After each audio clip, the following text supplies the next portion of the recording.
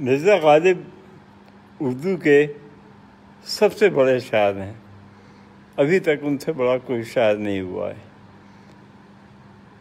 उनके अशार हज़ारों लोग, लाखों लोगों को बेहद पसंद हैं।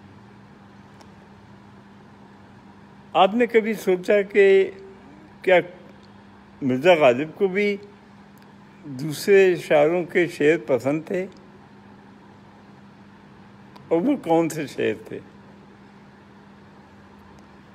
अल्ताफ़ हुसैन हाली ने, जो कि गालिब के शागिद थे और उनसे बहुत करीब थे, गालिब पे किताब लिखी है, यादगार गालिब।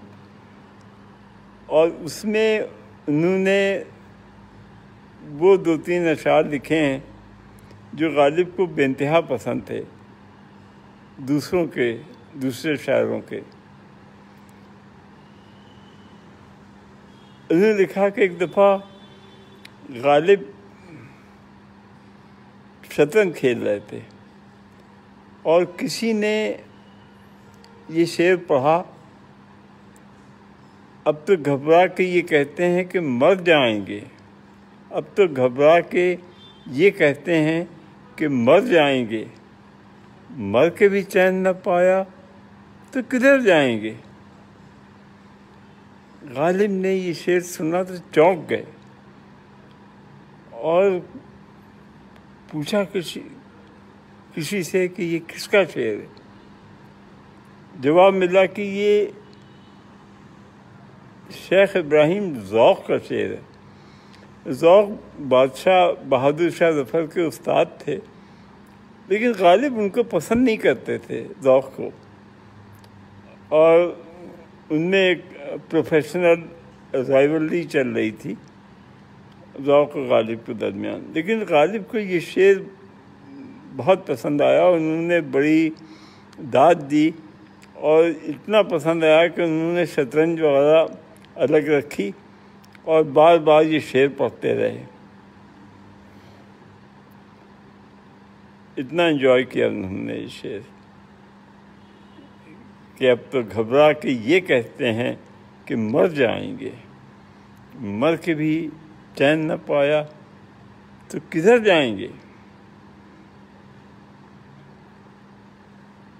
इसी सिलसिले में एक और शेर, जो गालिब को बहुत पसंद आया था, वो मोमिन खां मोमिन का था, जो कि गालिबी के ज़माने में थे। और उनका शेर था तुम मेरे पास होते हो गोया। तुम मेरे पास होते हो गोया, जब कोई दूसरा नहीं होता।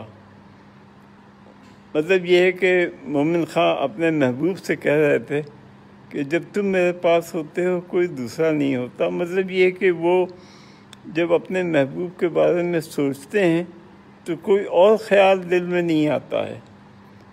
कोई और पास नहीं होता है ख्यालों में। ये शेर भी गालिब को बहुत पसंद आया। और तीसरा शेर जो गालिब को बहुत पसंद था, वो दाग का था। उसमें दाग ने कुछ यूँ कहा है, अपने महबूब के बारे में, कि रुखे रोशन के आगे शम्मा रखकर वो ये कहते हैं, रुख रोशन के आगे शम्मा रखकर वो ये कहते हैं, उधर जाता है देखें या इधर परवाना आता है। उम्मीद है आप लोगों को भी ये शेर पसंद आए होंगे।